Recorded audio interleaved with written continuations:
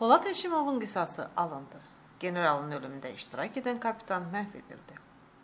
Azərbaycan ordusunun generalı Polad Həşimovun qətlə yetirilməsində iştirak edən erməni hərbiçi Ruben Sanamyan məhv edilib. Rex TV xəbər verir ki, bu barədə sosial şəbəkələrdə məlumat yayılıb. 44 yaşlı kapitan Sanamyan Ermənistan ordusunun ulduzlarından sayılırdı. Hətta Ermənistan prezidenti Armen Sarkisyan 21 avqust 2020-ci il tarixli fərmanı ilə ona milli qəhrəman adı vermişdi. Qeyd edək ki, oktyabrın 1-dən erməni kapitanının ağır yaralanması barədə xəbərlər yayılmışdı.